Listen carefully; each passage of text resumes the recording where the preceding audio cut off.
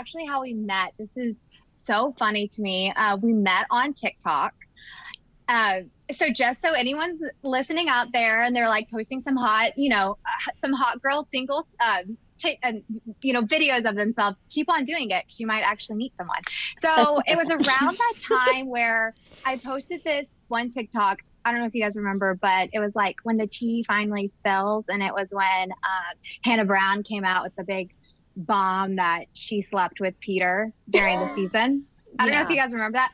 Obviously, mm-hmm. like I did not care at all. I thought it was, you know, very funny, and I had already known that, so it didn't matter to me. But I was mm-hmm. like, oh, this is a funny voiceover to do on TikTok. Of, I said something like, or I was, you know, saying something like, um, I can't remember what the voiceover was, but it was like kind of like being connect, you know, like being funny and like just making a joke out of it. And so I said, when the tea finally spills. Well, when I posted that, it kind of went many different places. And so he was on his TikTok and he saw me and he was like, Oh, I'm going to message her. She's in LA. I'm in LA.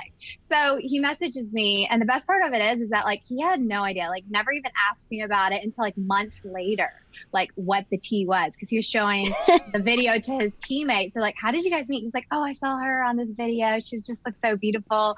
And the teammates were like, okay, so what was the tea? And I was like, oh wait, this was the tea. he didn't even care. Yeah, no, he didn't even tea. care. He wasn't even looking at that, if you know what I mean.